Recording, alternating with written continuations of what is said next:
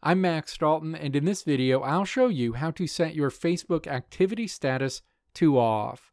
If you prefer to browse Facebook without others knowing when you're online, turning off your activity status is the perfect solution.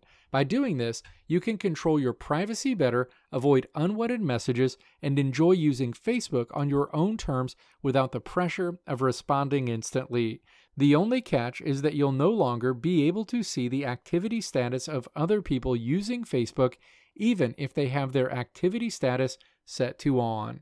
So if you're ready to browse Facebook more privately, let's dive right into it. Step 1. Open the Facebook app on your iPhone, iPad, or Android device. You'll land on your Facebook home screen. Step 2. Tap Menu in the row of options at the bottom of the screen. Your Facebook menu opens. Step 3. Tap the Settings icon at the top of this screen. The Settings and Privacy window opens. Step 4. Scroll down to the Audience and Visibility section and then click Active Status in this section.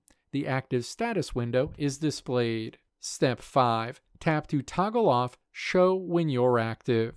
A window pops up asking if you're sure you want to turn off your Facebook activity status. Step 6. Tap Turn Off. Going forward, your friends will no longer be able to see your activity status on Facebook. Additionally, you'll no longer be able to see their activity status on the platform either. Let me know if this video helped you out in the comments below. If you liked what you saw here, click the video links on the right side of the screen to check out another video. Or click the logo on the left side of the screen to check out my tutorial website at www.maxdalton.how.